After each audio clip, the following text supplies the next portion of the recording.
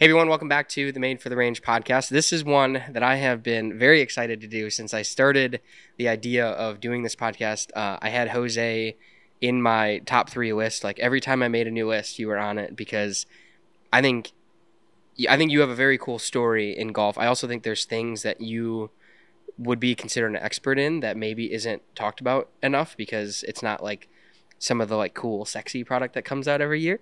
Uh, so we'll dive into that. But this is Jose Miraflor. He is what's your title now at Cobra?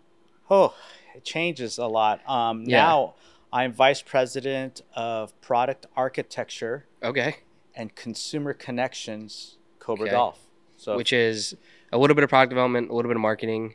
yeah, you know it's great. The product managers uh, report up through me, so all the creation, all the planning, all the all the things that you manage as a product manager report up, and then consumer connections is uh, is new, but it's something that's dear to my heart. It's it's all of the custom fitting. Ah, cool. So Very like cool. the this place that we're sitting in. yeah, this the- beautiful facility that we're in. um, yeah, And we have another one in South Carolina. We have one in Canada. Um, so that reports up through me, the fitters, and then of course the staff, our, our 850 staffers across uh, the North America. oh, really cool. Uh-huh. Yeah, yeah. And then the um, the demo technicians. We have 105 um, demo technicians that do custom fit days and demo days. So a lot of stuff around golf. Yeah. Uh, Cobra side for sure. yeah, that's a lot of that's a lot of people reporting up to you Yeah. at some point. Yeah. Well, first I got to say something. I hate talking about myself. Okay. So if I seem a little nervous and awkward, you know, I, I can talk product all day. If Yeah. you want to talk about a wedge, we can take up this whole That's segment. yeah. I was gonna say we're gonna. But you know, I, I talking about me and what I've done. Yeah. Sometimes for me is tough, but No, I get it. let's I, give it a go. I I understand it. I I, I get it. Um, I uh I I think I've had like a little bit more backstory information than some people have had. Um, you and I haven't connected like overly often or anything like that, Mhm. but uh, it's always been nice to come out here. Like you've you're also somebody at your level responds to emails insanely quickly. Which I cannot say for everybody that would be at your level. um, Jose communicates extremely well, which is very, Thanks very helpful. Um, but yeah, like coming into here was super easy. I told you guys, hey, I'm gonna be here. I've got you know these three time slots open, and I think it was like 15 minutes. You're like, yeah, I've got that one open. Let's do that. Booked, and now we're in this beautiful facility. This is brand new too. It's yeah, just a couple months, right? It's uh finished in a, yeah a couple Yeah. months. We still have one little portion, as you can see, needs to be done. we have this awesome bar that we're building in yeah, here. it looks Uh, really cool. All though. the tap already works and all the alcohol's in it, Yeah. but the bar is not quite finished. But but the hip bay behind us and the putter lab is, is all ready to go, and we've been having people coming through here. It just so happens on Fridays. Our fitter loves to be outside, so he's working Ah. in Sanitas Ranch today. So Very it cool. worked out that in here on Friday, our practice days, Yeah. we're, we're able to use this. Oh, that's awesome. Yeah, that worked out great.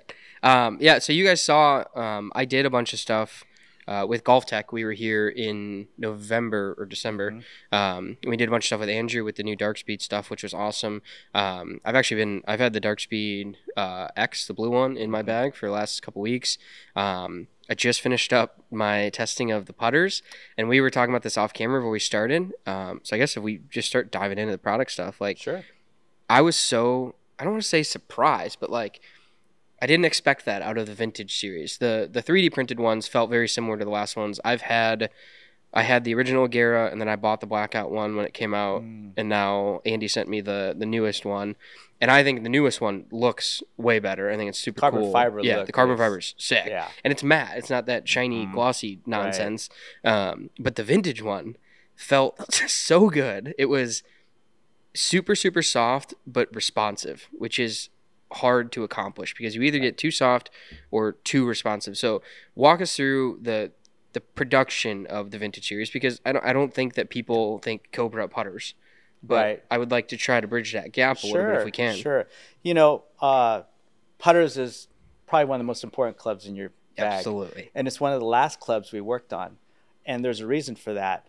Uh, I've been asked over the years, hey, are we ready to do putters? And one of the things I said that we need is a, a story for the face, for feel, and for roll. If you don't have that, that at least helps you get the ball rolling off of impact. You're you're Yeah. you're losing against the competition that does, right? Absolutely. yeah. Because the moment your ball gets to speed and rolling, it's going to negotiate bumps and little things that are on the green, they're imperfections, Yeah. and be able to roll over them. It's kind of like getting on a bike. When you first start, you're kind of wobbly. If Yeah. you try to go over a speed bump, it's going to send you in a different direction. But if you're moving on your bike and doing, you know, 10 miles per hour, that speed bump's nothing. Yeah, right? going right over it. Yeah. So um, that was really important for us. Getting an insert or some type of face technology that goes that talks to to feel and first for first and foremost was roll. Yeah. Right. In 2018, I, I struck up a, a nice conversation at the U.S. Open when it was in New York Mhm. um, with Stephen Harrison from SIK Yeah. Putters, and um, we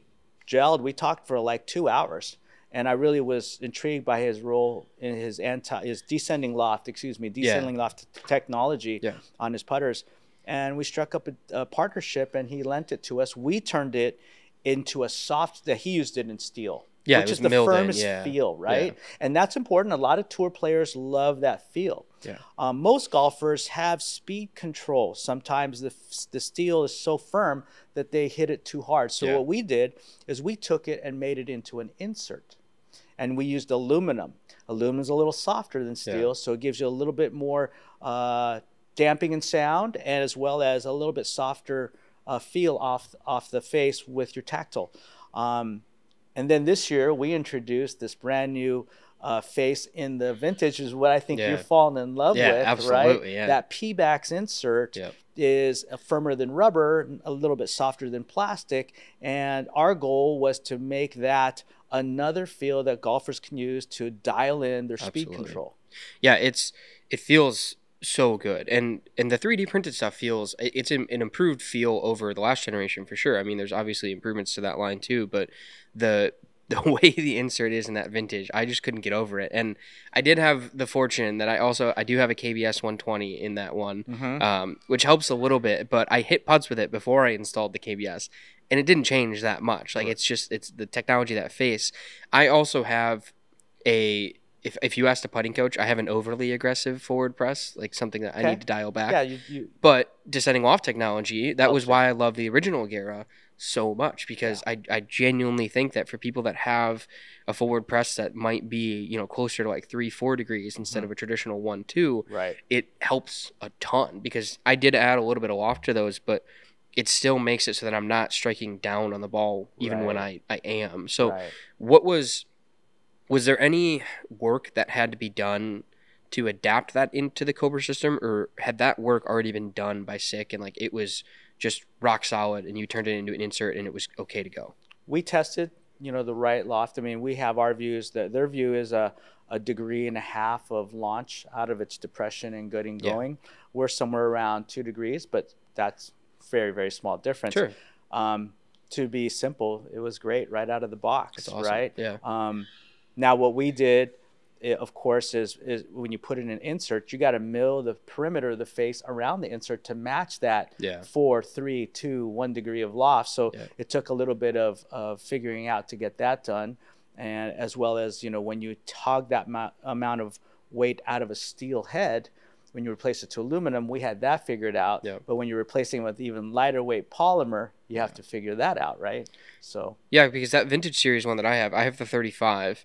Um, it's super stable too. Like it doesn't. So I've the it's, it's been weird. I just talked to somebody about this yesterday. The trend for putters has been significantly growing towards mallets. oh, yeah, oh, yeah. my personal trend towards putter has been significantly growing towards blades Mm. and so it's it's been unique though because i was very into the mallet side of things and exploring that world and when you look at blades and the i don't want to say myth but like the misunderstanding of the stability that can be achieved in a blade i think is something that's going to become a story as Mhm. people still want to sell their blade putters Right. um, I think that that new MOI story, the new stability story of what people are able to achieve with a blade, is going to be a, a really big deal. And what you guys did with the vintage one to me felt great. Like toe to heel, it was Right.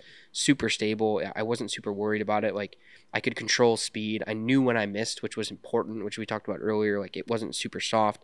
Um, so when you guys are looking at the future and, and trying to improve that category within Mm-hmm. Cobra, you guys also have a, a relatively slow release for putters. You guys aren't antsy to just release putters all the time. Like Right. I think it was was it two or three years between It was three years. Okay. I like to do two. I'm head of architecture, Sure. but we had a little snafu with the factory that had we had to shut down. Okay. So it took us a, another year to get another factory up and running, which actually helped us to be even Yeah, better. sure. Because we went from a casting house to a metal injection molding house. Okay. So when you look at your vintage putter next and bring it up closer, you're Yeah. gonna be like, are these milled lines? These lines look really precise Yeah. metal injection molding is super precise so your product looks like it's milled even though it's not That's super cool. Yeah. so it, looks super premium the lines are perfect if you look at your old Agera yeah.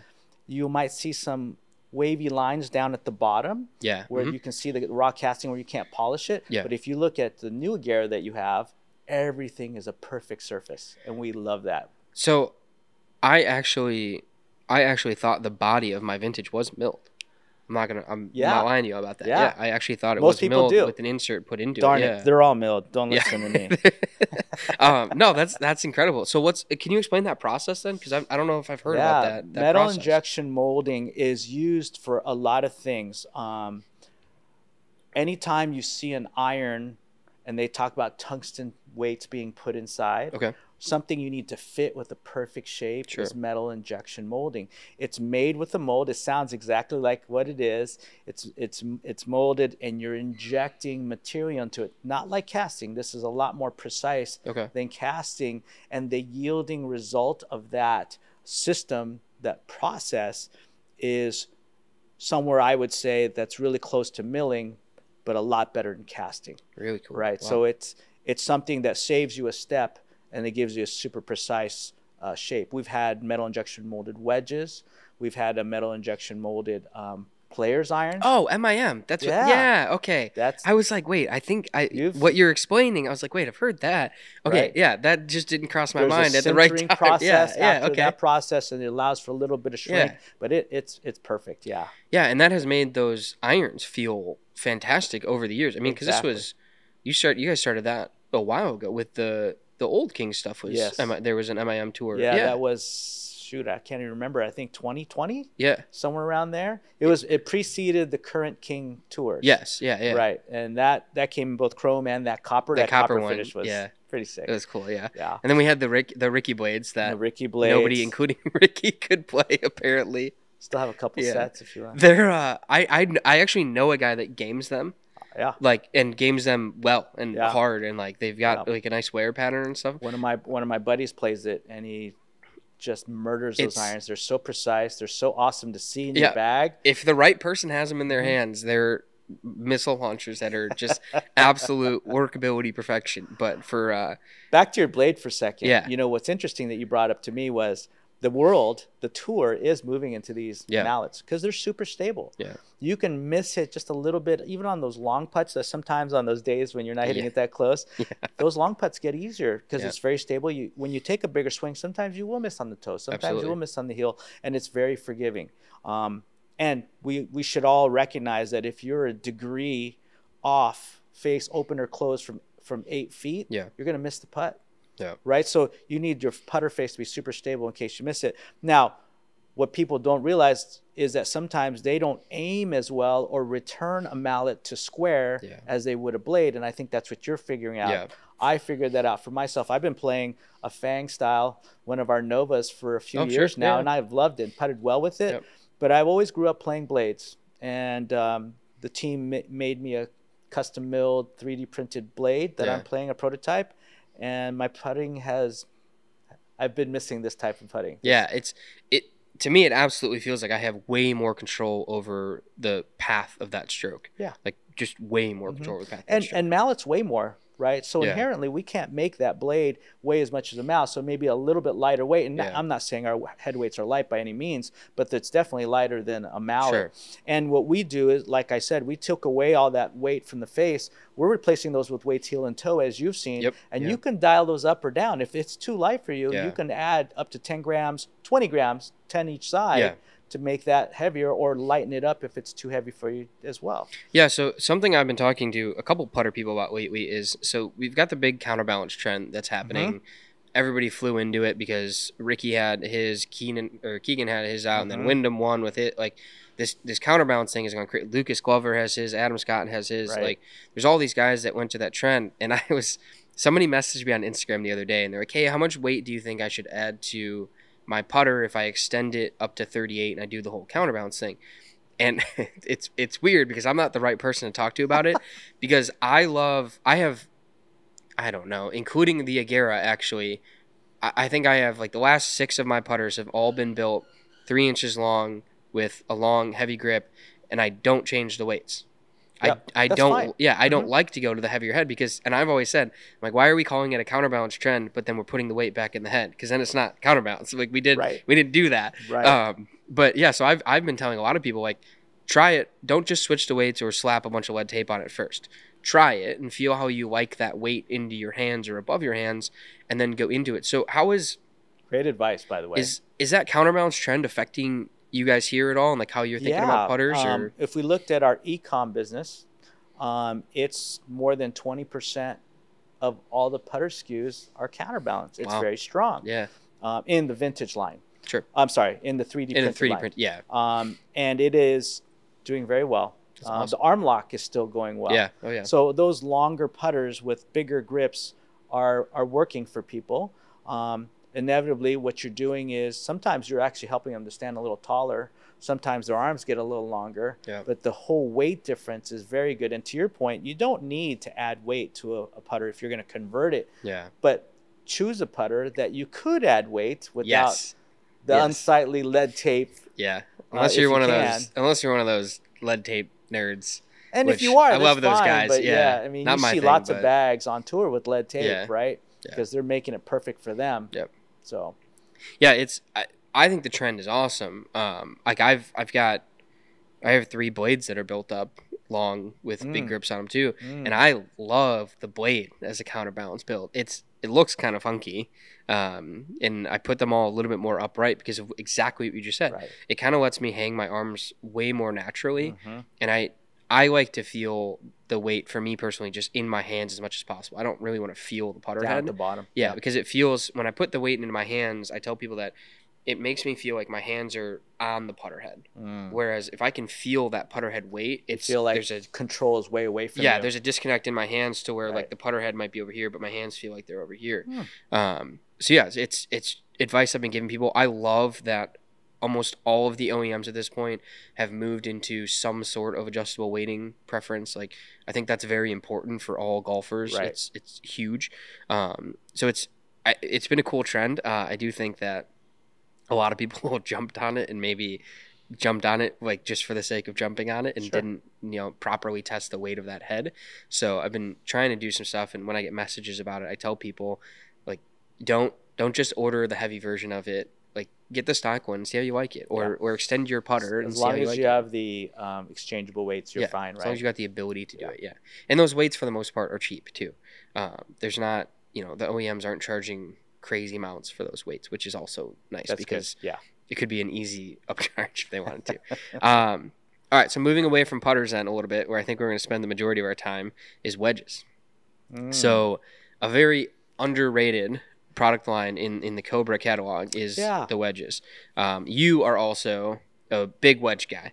Um, I've heard plenty of stories of like you're grinding wedges in your garage, and that's how you started some things. you are um, giving up some old secrets Yeah. about me. I like it. Well, I think your your story here is cool. So Who you been talking to? that, that that I can't reveal. That I can't reveal.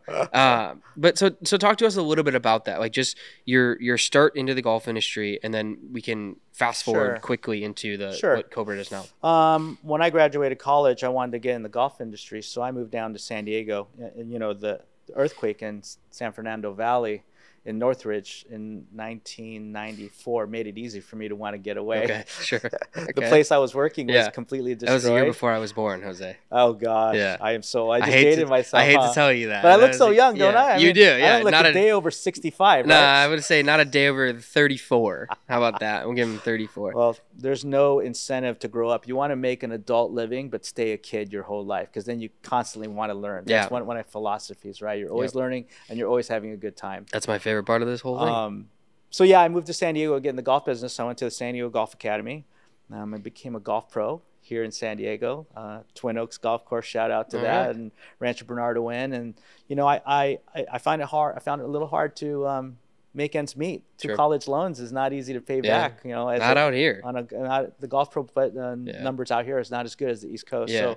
So um, I had a friend that I met at the golf academy. He called me up, said need some help at Titleist. So I worked at Titleist for a few years, and I got to show off um, a little bit of custom fitting knowledge. But Yeah. I got to meet the legend himself, Bob Vokey, who Yeah. I already knew because at Twin Oaks Golf Course, his wife worked there Okay. at the time he was married. Um, she and I were very close. He came out and played a lot. So when I joined Titleist, he invited me to his special wedge area, and I got to go in Oh. there and choose my own wedges. And we talked a little bit about how they perform and you know what the grinds meant. So Bob was very giving with his time with me. And then um, when I moved on to the next company, um, where I learned a lot about putters, um, I I went in their tour department. I asked if I could, if I was allowed to go in there, and they were very welcoming. And I was in there just grinding my own wedges one day, Yeah. um, just softening up leading edges and trailing the back, trailing edges. And Sure. Um, my boss walked in, and at the time it was John Hoflick, who's done some great things in golf. He did the for older guys the Silver Scot 845s and the original DCI iron. He was one of the guys who Oh, shaped that. Um, Wow. So he he said, "Hey, I just made these new wedges. I'd like you to take it over, go investigate on on tour what's working." And he gave me that license and he just said, "This is yours to So make what you do." So Yeah. I kept, you know, investigating with players um, that came to the kingdom and went out on tour 12 Yeah. weeks a year and, and worked on wedges. And my job was to get our players out of Vokey wedges. Yeah. And the moment I would Which is grind, hilarious. Yeah. oh, it's so hard because Yeah. imagine I'm, I'm grinding wedges. I'll drop a name for Sergio, who's, Sure. who's an old friend. Make him five wedges. And as soon as I'm done with him, Bob Vokey comes with 12. right? Yeah. and, and and so I'm sitting in their truck grinding. Yeah. But Bob is grinding, or he has guys at home that grind, so he can outdo what I was trying to do. But you know, at some point, the players just said, "Hey, Bob, um, Jose is my guy, and these wedges are great." And Bob said, "That's all I needed to hear." And Bob is very Yeah. giving. Like, I, I just love the guy. He Yeah. he's the kind of guy that when I start going out to imagine the legend of Bob Vokey and you Oh, yeah, trying to do wedges, he walked over to me, put his arm around me, he said, "Hey."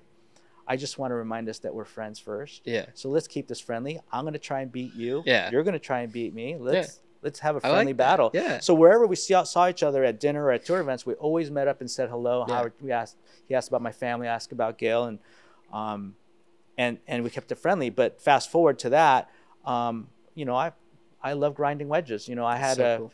Grinding stuff in my house and Yeah. ventilation systems and i would love to just tinker and, and do stuff I, I, I helped a blog site a long time ago and i did their wedges for them for their customers and Yep.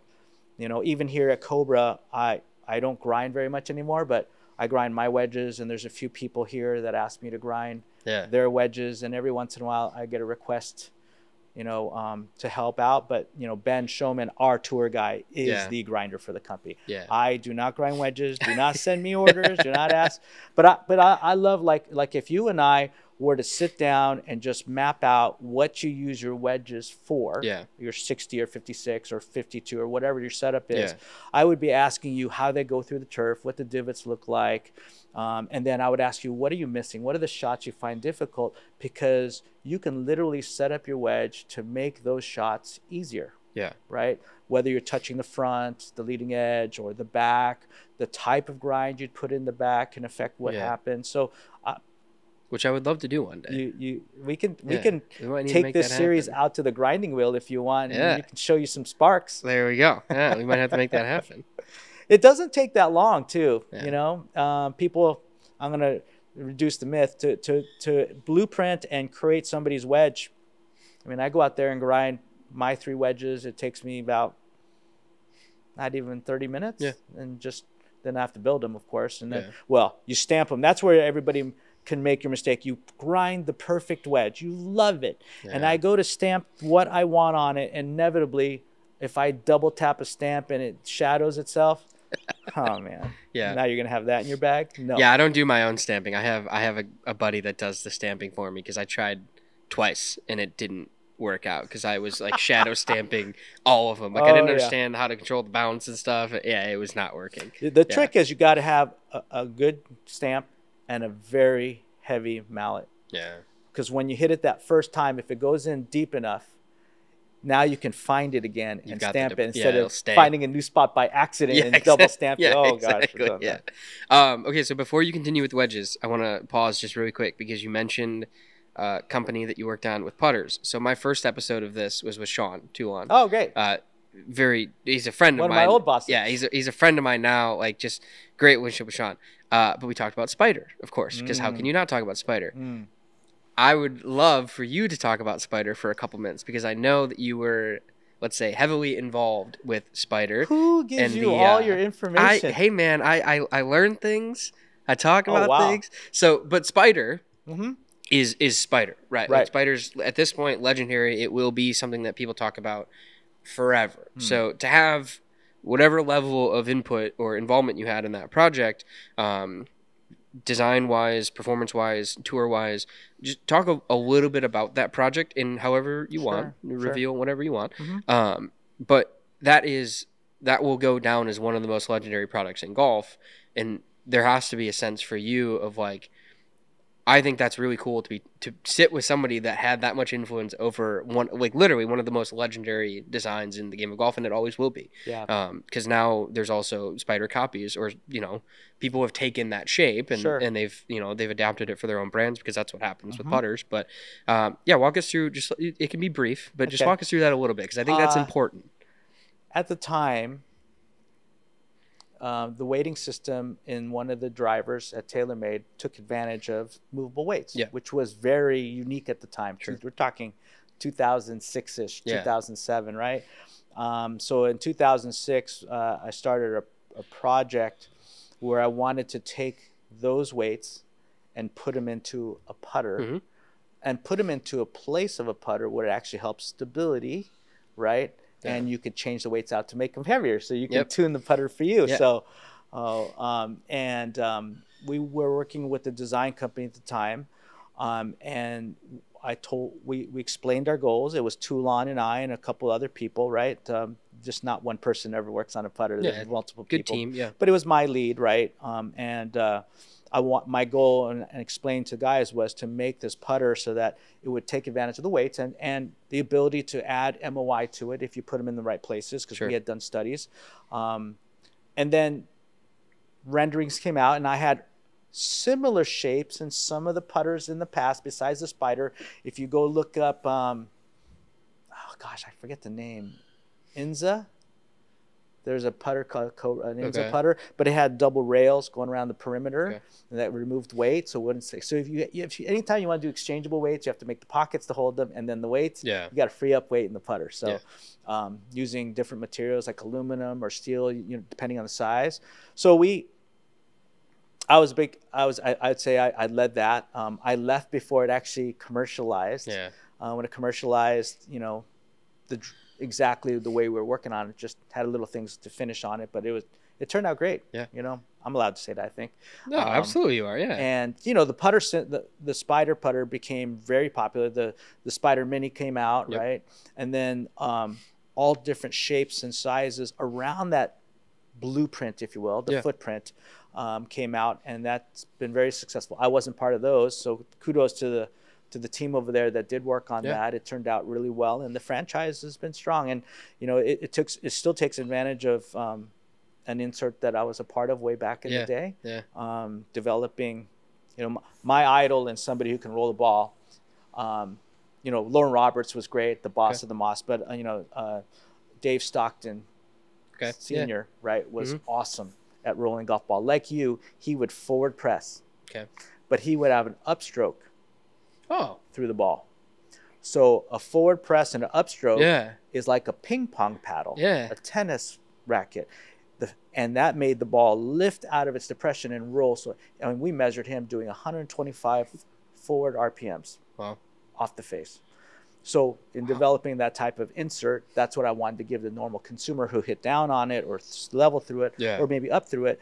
Just changing backspin to forward spin, you're going to help them. So worked on that. Yeah. And that's part of the spider as well. It's awesome. Um, and it's, yeah, it's, it's fun old stuff. You're bringing it back. yeah. Old memories Hey man, it's cool. it's that's that's the stuff that I like to talk about when we do this kind of stuff because the- marketing for all the new products is out there and people can hear about them. Yeah. I've, I've done some of it. Like it's all out there.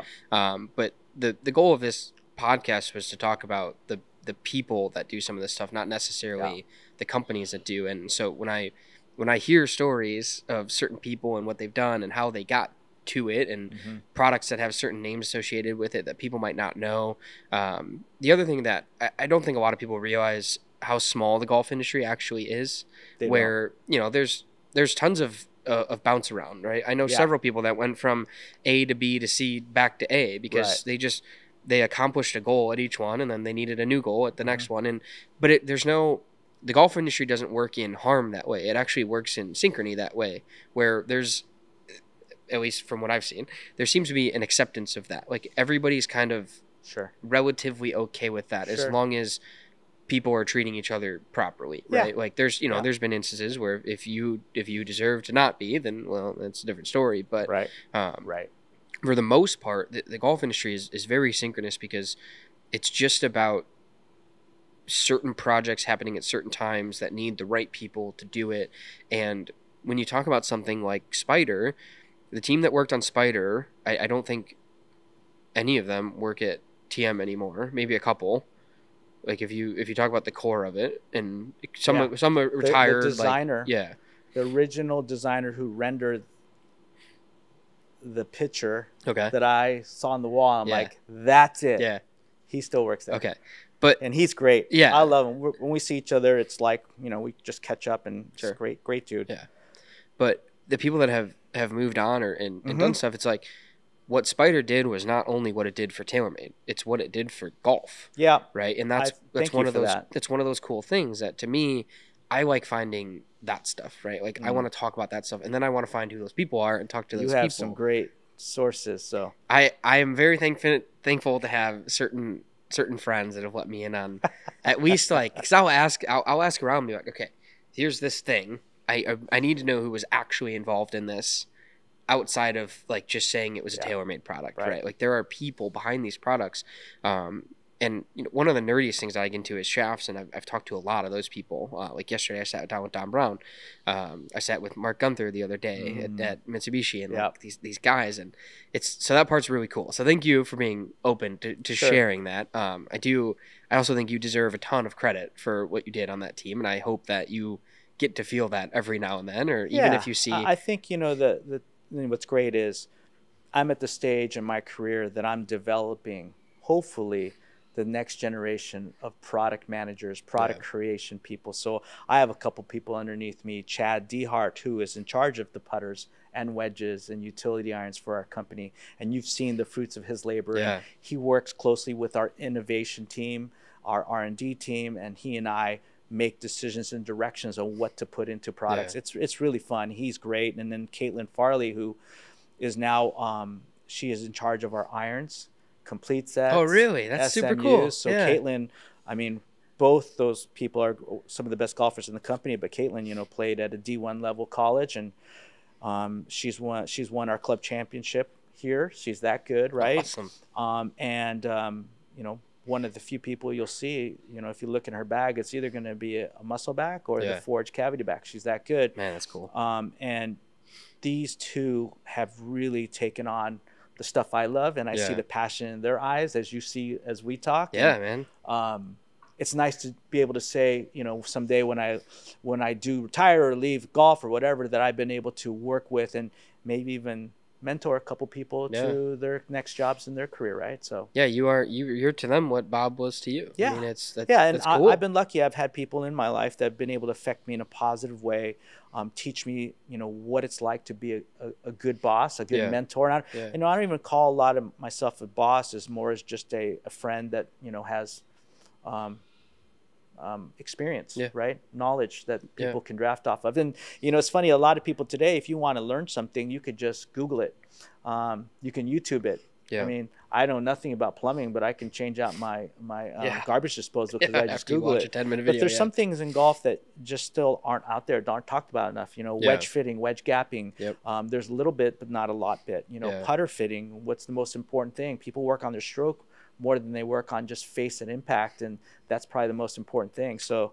Uh, I love chatting that up whenever Yeah. I get a chance to. So thanks for that. that's that's my bread and butter, man. I'm like I, I tell people all the time. There's, you know, everybody has a unique golf swing, and and not everybody needs to have a Nelly Korda or Rory McIlroy golf swing. Everybody has a unique golf swing, and for a lot of us, it's not a golf swing that we have any care to change. Mm, But like, so then go take that golf swing and Mhm. get the right clubs for you right. and that includes your putting stroke. Right. It- It's and that includes the gapping that you need. That includes the conditions that you play with your wedges the most. I see so many guys go into a pro shop and they right away like they're they're on super firm tight lies, for example.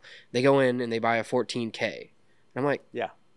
Uh, like that you didn't that didn't help you at all. But it was because you know the the assistant pro the, like college kid that's sitting behind the desk thought it Mhm. was cool and that was his recommendation.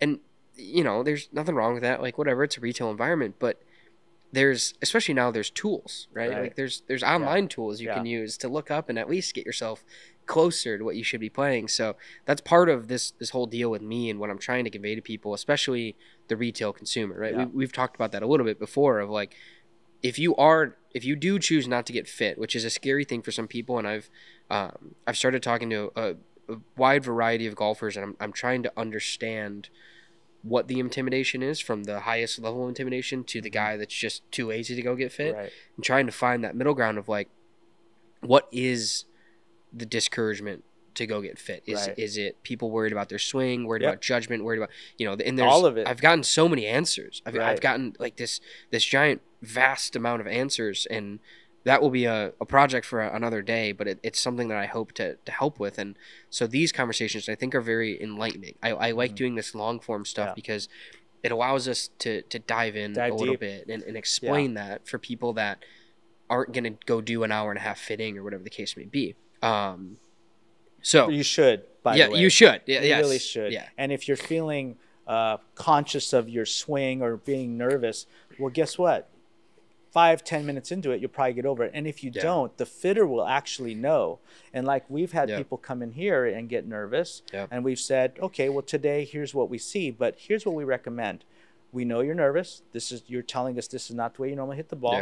Let's come back another day. Yeah. And another day you'll come in and you'll be less nervous. Yeah. Do you think I like being in front of a mic and looking into uh, you know, I, I love presenting, but looking into cameras isn't natural for me. So, but you know, you just you'll get used to it. Is Yep. what I say. Yeah, yeah, absolutely. And I think too, you know, a, a good fitter also makes a big difference. Um, a, a friendly fitter who's very understanding Oh, makes yeah. makes a huge difference. Oh It's, yeah. And because I tell people, like, look, you can you can make a hell of an improvement in your game with an OEM stock fitting. It, Mhm. it does not have to be uh, expensive aftermarket only fully custom fitting. You, you can make a, a hell of an improvement in your game by just buying the right thing off the shelf. Right. And, and just educating, reading stuff on websites can help you to Yeah. find at least a good starting place. But a fitter that can make you feel comfortable Yeah. is very important. I mean, that's what Yeah. we hire when I'm in charge of like these guys. And um, when we hire, we're hiring not just somebody who knows the shafts, knows the heads, but a personality. Yeah. Someone who can talk to somebody. Like if you and I were walk onto a fitting tee, what I used to do to make people less nervous is like, okay, so tell me about your game. And they tell me about their game. And I said, is there any like things I should know about you? Do you have a hip problem, a knee problem, a drinking problem? and you know, that just makes people Yeah. kind it of opens them up. opens yeah. them up a little bit. And and you know, literally my biggest advice to everybody is if you make the same swing every time, just finish on balance and let the fitter fit the club to you instead of, oh Yeah. oh God, I hooked that one. I'm gonna try and not hook this one. Yeah. That's not your job. Your job is to just make your good swing and, and let the fitters just fit around you. And if you could do that, which I think people can, Yeah. it, it'll make it the fitting pretty smooth. Absolutely. Um, okay, so we've done right. our we did our spider squirrel, which I needed to make sure we accomplish. Uh, so finish the uh, the the wedge story for us. So okay, you were, so so like on, on the wedges, you know, um, I got my start. I, TaylorMade let me grind. I worked a lot with tour players Um, and I just love it, you know. And and here at Cobra, when I first came on board, I met Ben Schomin, our tour guy, and I saw his grinds, awesome grinds. Yeah. Um, and and then um, when we design the next generation, Chad and I work on stuff like you know we launched the um, the the snake bite X wedges this Yeah. last year, and that's a wedge that's game improvement. We've never done a game improvement wedge, right? Yeah. We've always done a player's wedge, but game improvement wedges are so important today because there's so many newcomers to golf, which is what the pandemic gave us, which is great. But if you Yep. struggle with a wedge trying to get a flop shot or even just out of a bunker, we designed a sole that makes that easier, Yeah. right? And it still allows you to try and do these flop shots. And when you look down at it, even us, the better players in our company, when we first presented it to them, we presented it just in a playing view, and they're Mhm. like, "Wow, this is a cool new wedge." Yeah. And we tell them turn around, they're like, "I Like, didn't expect Yeah, that." you didn't. right? You don't expect what's on the bottom of yeah, that. thing, and it, it and it works really well. So, you know, we're always investigating ways to make short game easier. And to your point earlier, you know, choosing just starting with picking the right area will Yeah. help you to perform better. yeah, right? absolutely. The right area wedges. Um, so snake bite has a very unique shape Mhm. uh, with the bite, or Yeah. the, the. I guess it's. Is it a bite or is it the fangs? I never actually thought about that before. I always assumed it was the bite. Are you talking But about it the, yeah the, cutout? The cutout. yeah. Yeah, the, the that we that was introduced 1997 Wow. by Phil Rodgers. Do you know Phil Rodgers who he is? No. So Phil Rodgers was a great player in his own time. Um, he's been a great teacher. Um, Ogilvy Okay. Yeah. was one of his Okay. students. Um, and Phil Rodgers was, was a like he he had shots in his bag. Like I, I think I have a decent short game. He had short game shots that I've never seen before. Okay. And he, we you know I just you chat him up. I mean he still even when he was retired would come in the building and we would chat it up. yeah. Whoever whoever he saw, whatever topic you wanted, he'd chat it up. Yeah. And the guy is awesome. Was awesome. Um, and um, so he brought that because back in the day when he designed wedges, he had a lot of bounce. So the leading edge would stand off the ground a little bit, Yeah. right? So the notch, we call it, helped that wedge to sit a little bit lower so it didn't intimidate you how much bounce was on there. Yeah. Because back in the day, bounce, eh, and today people still say the bounce of the wedge can help you prevent digging. I know it as the bounce of the wedge is going to help you get that wedge out of the ground because it's already in the ground Yeah. pretty much when the bounce is activated, and Yeah. now it's going to help you come out. So um, he used that to help people get over that, and it did help you slide under the ball a little bit. So you see now we've started to move the notch on the 58s and 60s a little closer to the heel. Um, and that helps you slide under the ball more. So now we're using it as actually in play Yeah. type of adjustment, not just at address.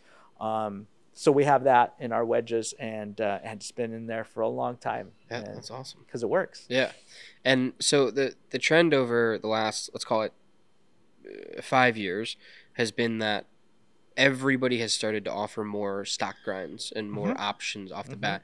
What do you do? You think the catalyst of that is just a flow from tour of like they they just understood how many custom grinds they were having to do Yeah.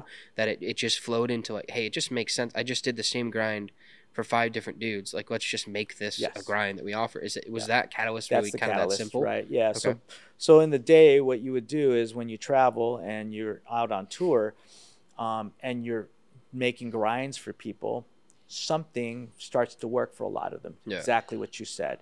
And now what happens is you bring that to the marketplace, and guess what? It's going to work for most people.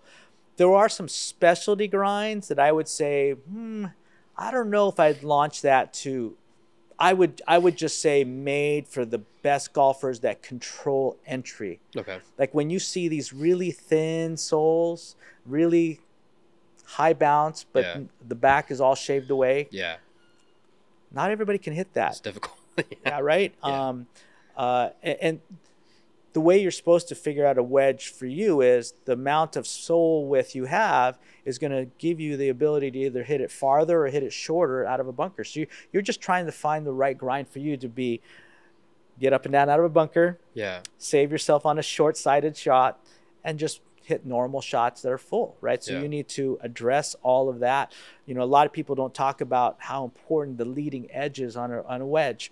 Um, a lot of players out there don't understand, you know, when you take the leading edge of wedge and you just tuck it so that the leading edge is up, it's kind of like skiing, Hmm. right? Because if you dig the ball too much, your shaft is probably leaned a little bit forward, as it should be. Yeah. But when you lean it forward, that leading edge is turning down into the ground. Now you combine that with your steeper angle of attack, and now you've dug. Mm. But if you can, if you can grind the leading edge such that it gets down there, hits the ground, and goes in, but it, because of the ski effect, is working its way out, you don't get so deep. Yeah. So next time you guys are in the store looking at wedges, turn them over and look down the the sole of it and notice the leading edge. So playing out of tight lies that helps you. You can lean the shaft and not feel like, oh my god, I'm gonna chunk this right Yeah. away, right? Because tight lies are what everybody's scared of. Yeah. No kidding. Um, and you can hit full shots. You know, a lot of people like to try and hit that shot that's a 60 yarder and it goes one, two, and then suck them Yeah. back a whoa whoa, Yeah. right? Yeah. So when you do that, a lot of people will dig. So it, they hit the shot, but the the club going through the ground doesn't feel natural. The Yeah. divot's a massive pelt that you could trade for some for something else in a store, but um, but you you if you treat the leading edges, you can find the the glide through the divot that matches that shot for the player. Yeah. It gives them positive feedback. They can repeat it more often, right? yeah. That's so a lot of people don't pay attention to that stuff. Yeah. I'm geeked up older. Like I said, I- I, can talk wedges it, forever. man, So yeah. I'm sorry. yeah. You can just do this. And no, no, no. can- I'm I, I I I like to sit here and listen. This is this is a learning opportunity for me. So and I will, you know, the more and more and more we talk about it now, like we will have to to schedule another time for me to come in and just. Do I would love with for you to come out. Yeah, We talk about on camera what you do with your wedges. that what do you love to do? Phenomenal. We blueprint your wedges. Yeah. We go grind them. I'm going to make you do a little bit of grinding. Sweet. With, with gloves on because Cool. you don't want to lose skin. I've Yeah. lost skin. Oh yeah. Um, and then show you how it's done. so cool. But I'm not going to stamp them. I'll give you the heads and you can give them to your friends yeah, to I'll give it to Alex. And then uh, yeah. paint. Yeah, maybe maybe we'll get to a point. I know he's gonna watch this because he's he's a, a big supporter of mine. Uh, but my, my buddy Alex is a is a custom guy, and he has done a couple grinds on some of the wedges that I have. Mm. Um, and he he would love to meet you. So maybe I'll maybe I'll try to loop him in with me on that, and he can uh, Maybe he can teach me how to he can- grind his way. he can he There's can always geek great out, sharing, man. right? Yeah, he can he can geek out with the best of them. Uh, Yeah. He's That's awesome. he's incredible for like just you know he's got just super basic equipment and um but what he does and what he can do especially with stamping i'll show you some pictures after we're done of like some of the stamping Cool. stuff he, it's wild I love it. um but so i i'm a big fan of gary woodland Yes. I, I loved that signing when he moved over to Cobra. Can you can you talk a little bit about him and his wedges and how he approaches things just for the sole purpose of I'm just a big Gary fan and I'm just curious? you know, it's funny. I don't. I haven't had the chance to work with Gary in a large amount Okay. because I got so busy in Yeah. here. And it is recent that he's been a Cobra guy It's too. been a it's, couple it's not- years, a yeah. couple years Yeah. now, and I remember seeing uh, just to give you an idea of why you should be a Gary Woodland fan. um, on our second shoot, um, I went out there, and um, somebody told Gary I was coming, because I used to be in charge of tour Yeah. for the company Mhm. for a while, and this is after that. Somebody, my, my boss, the president, he runs the tour now. Okay. But I was going out there to help with the shoot because it was new product, right? Um, he comes inside, hey Jose, gives me the big handshake, the hug, and Yeah. it's like he's known me forever. He's Yeah. such a nice guy. That's all I've Everything you him, see yeah. on TV is true and even further. Yeah. Um, I saw him on at Torrey when the U.S. Open was here, and I walked up with a bunch of R&D guys. He was on the tee, and I'm like, "Hey, G Dub," and he looks over. I go, "Hey, it's Jose from Cobra." He goes, "Oh my God, Jose, I didn't recognize you." Comes over. I said, "I want to introduce you to our our R&D guys," and Yeah. he was saying hello to all of them. And they're like, "Is he that friendly all the time?" I go, "Yeah, man." That's He's all I've heard about Gary. and I he's so yeah. good. But I, I could tell you his. I saw his wedges. Know, am I allowed to tell you this stuff? Well, we that's. I was actually curious. Yeah. Um, interesting. He has a cool grind that Ben Ben does his wedges. He and Rickie have a very similar grind right now. Okay. Cool. Um, I can't tell you all. I was gonna say you don't have to go in. You don't have to divulge it. It's on our next one Yeah. Because some things will be talked about. I can tell you what we do for them. That's really cool. Oh, okay. Cool. I love that. Yeah, I like Um, that. And let's just say the grinds are so repeatable It's ridiculous. That's awesome. Yeah. Yeah, even So- for even for guys that are pretty reputable. Like that's I mean they have Yeah. there's a lot of repeatability in that. oh yeah. Um, so then okay, I'll switch a little bit. So I've been fortunate enough that I have done a couple shoots with Lexi. oh great. I love Lexi. I love Uh, Lexi. she is just yeah. one of the sweetest, funniest people on the planet. yeah. Um, absolutely adore Lexi, and she also hits the crap out of the ball. She does. Um, is there so Lexi is stuck in those irons, Mm. And she is she is heart set on in those irons. I have played. You guys know. I've played the the new uh, CBs, Uh-huh. and actually I have the I have a CBMB combo set now. okay. Um, but I played them since they came out hmm and I've had them in the bag till now. I actually have uh, my California set because I have a friend that let me leave a set here now, Oh, so I don't have to travel.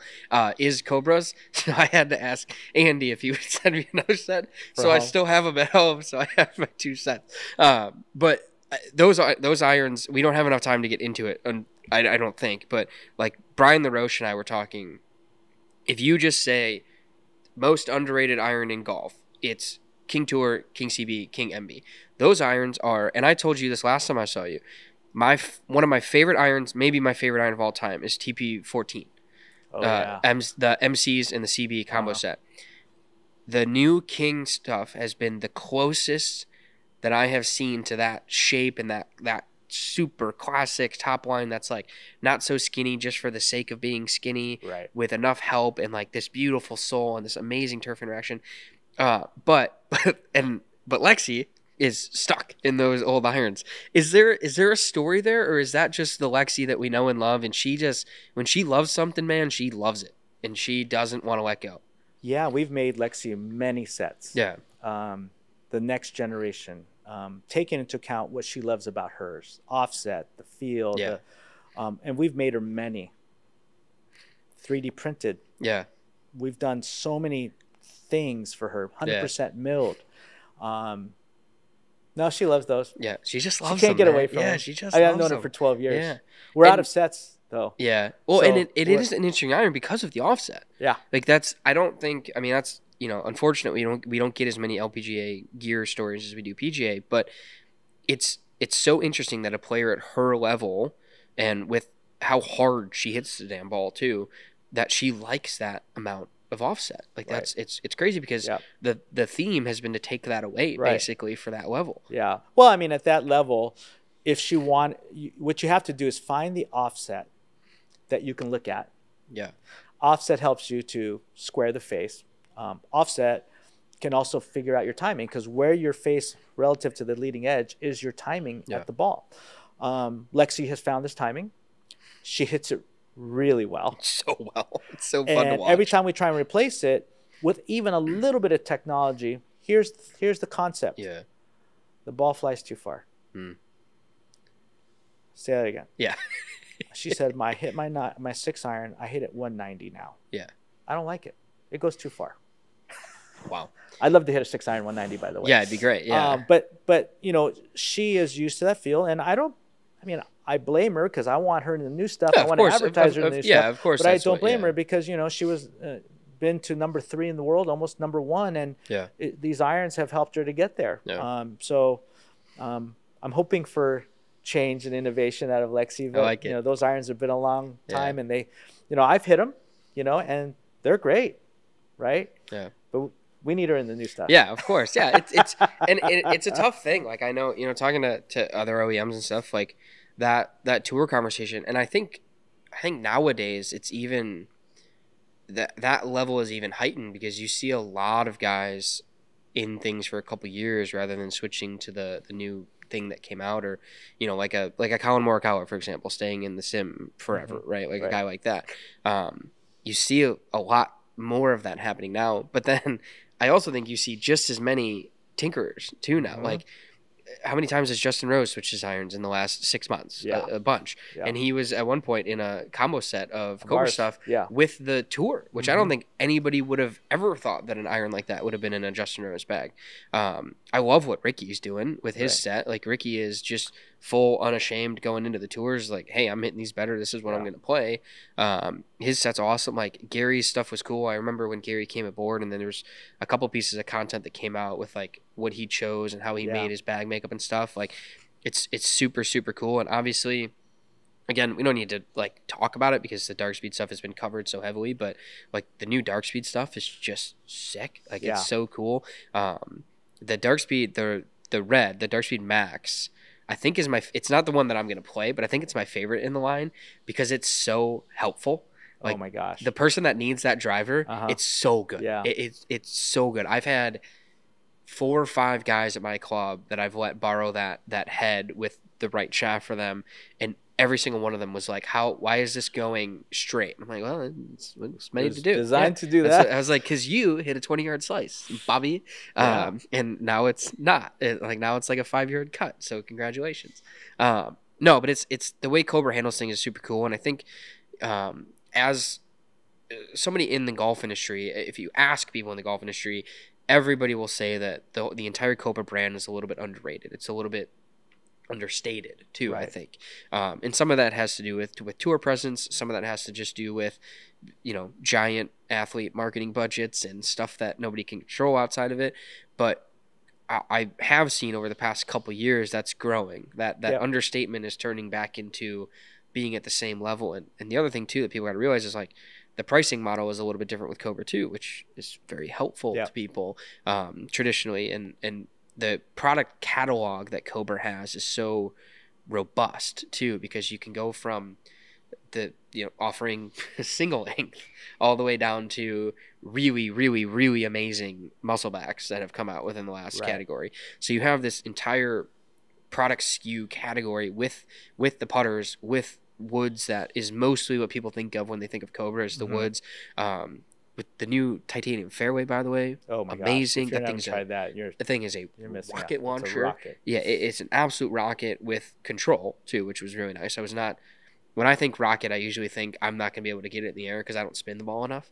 But move that weight back and just gone. Well, people are Um, building five woods at three wood length, yeah, oh yeah. and their three woods are completely gone. Oh, oh, I love that. Yeah. That's yeah. We're gonna have to talk about that a little bit, but um, yeah. Is there anything else? Just uh, like Yeah. peek us into Cobra a little bit. Where where are you guys gonna at right now? Maybe you know a little bit of like what might be coming, some some stuff you guys are working on, or just Sure. you know categories. Yeah. like? Um, you know what's funny is uh, you're right. Um, people don't know how deep in R and D we are here at Yeah. Cobra. Um, when you think about a lot of our technologies we brought over the years, uh, commercializing one length with Bryson, that Yeah. really hadn't been done before. Yeah. Um, the um, CNC milled driver face, right? Pretty cool Yeah. uh, computer chips and golf clubs. We started the whole thing with Arccos, and Yep. you know when you see those grips with the computer chip in it, that's our that's our patent. We, Yeah. we had that in 2010. Before I even joined the company, um, they they had that. Um, so there's a lot of firsts that Cobra has done, and and we're going to continue. I'm so excited about next year that I can't tell you a thing Yeah, about. of course. Yeah. I'm so excited in in about Yeah. a month that you're going to find something Yeah. out about. Um, maybe we'll do another segment on that before you go. Perfect. Uh, but it, it is, we're full of great launches that are coming up, is what I'll Awesome. say. Uh, launches that are back with great technologies, launches that will help golfers. And to your point, our range, and this Yeah. is this is my main part of my job, right? Is product architecture from tour offering all the way down to mid handicap, all the way down to the beginner golfer. Yeah. What is our range, and what is it we're doing to those to help the golfer? Yeah. And we get recognized even for like our Air X family, which nobody talks about. Oh, But the Air X So family cool. has won Yeah. gold medals in, in, in certain people's things. And if you have a slice or you can't get the ball up in the air, yeah. the Air X is what you want. And, and let's not even forget about the T rail bafflers. Have you ever hit those? Yeah. The I love. Yeah. It's cheating. yeah. It's the set that you want on a hangover Sunday because you have no game. This set will get the ball airborne Yep. and goes a long Yeah. way. I, I had a tour caliber player ask me the other day. Oh, I'm sorry, it wasn't a tour. It was a long drive competitor who was a really good golfer. Okay. Said, "Hey, Jose, can you put a X flex shaft into one of those and let me hit that off the tee. I said, absolutely, but you won't give it back. He's like, I want that. I go, but you'll probably break it. Yeah. He goes, well, let me try it. So we're gonna make him one. Um, and then you know, uh, moving up into the range, dark speed can speak for itself. Yeah. It's doing so well this Yeah, year. it's doing Our business great. is up Yeah. and we're, we're, we're doing really well in the marketplace. But to your point, our King family, that's the upper level. That's why we call it the King. I'm Yeah. not sure if everybody gets that. Yeah. But when you get the King NBCB, King Tour, King Forge Tech, King Forge Tech X, Yeah. that's the upper level line of products that are made for probably the better amateurs and Sure. better tour players and yet everybody who wants to just have that type of feel. It focuses around ultimate control of the golf ball. Yeah. Offset helps you to control your golf ball shape Mhm. shots, right? Less offset.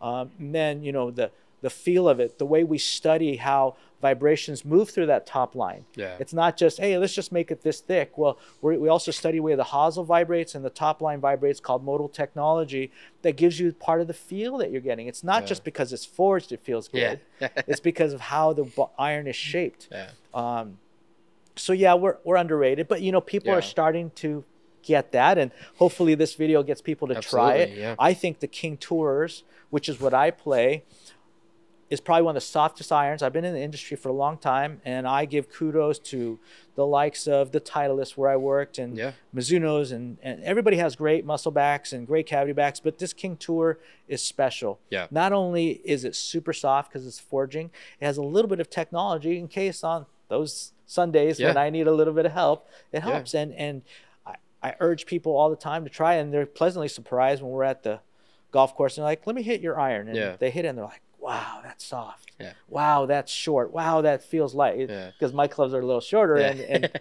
I like you know lighter weight shafts. So yeah. but they inevitably they're like, this is really cool, and then they come in here and get fit, and next thing you know, we have a new person I've converted. Yeah, hey, if it's good enough for Gary and Rickie and, and Rosie, like it's, yeah, it's Lexi and be. Justin Suthers. Yeah. You know, we have 45 plus more athletes now around the world. Uh, we got this guy in Europe on the DP World Tour. His, his name is um, Ewan Ferguson. He's a he's a beast. That's awesome. Great dude. Yeah. Um, and so we we have a, a great great family of Cobra Puma people out there, and I'm excited about you know we're always looking for the next Yeah, that's person. awesome. So I look forward to it. Well, cool, man. Well, thanks for sitting down today. I appreciate it. A lot Maybe we'll jump into another category here real quick before I got to get out. But I want to know all, uh, who your source is. yeah, do all this well, inside stuff. yeah. I'll, I'll, I'll tell you. Uh, but no, that was awesome. Thank you for sitting down. I appreciate it. I know it's it's tough to do this stuff. Like I, we'll do another one at some point in the future, just because there's too many questions to ask you for uh, 40 minutes or an hour, or whatever Yeah. we're at right now. But um, no, I, I appreciate you sitting down. It's it's it's a big help, and I I love sitting here because for me it's just a learning experience that I get to share with other people. So I love it. Yeah. Thanks for giving me some Awesome. great memories back. Cool, man. I appreciate it. All right.